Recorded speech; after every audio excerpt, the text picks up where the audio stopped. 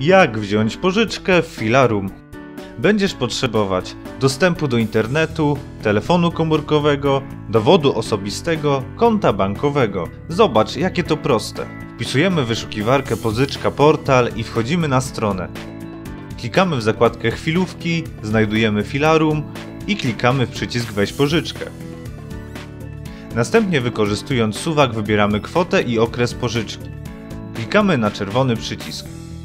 Poniżej pojawi się formularz rejestracyjny, który należy wypełnić.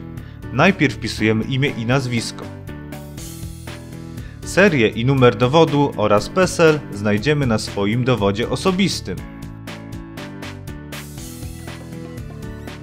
W kolejnych polach wpisujemy swój adres zamieszkania, ulicę, kod pocztowy. Z listy wybieramy województwo i wprowadzamy miasto. Następnie wpisujemy przynajmniej jeden numer telefonu oraz swój adres e-mail. Wymyślamy hasło, które wpisujemy w dwa następne pola. Na końcu strony zaznaczamy akceptację regulaminu i upoważnienia. Klikamy w Zarejestruj się. Na następnej stronie znajdziemy różne numery kont. Zapisujemy sobie numer konta naszego banku. Na podany wcześniej numer telefonu otrzymasz SMS potwierdzający złożenie wniosku. W celu zakończenia rejestracji wystarczy wpłacić 1 grosz ze swojego konta internetowego na konto firmy pożyczkowej.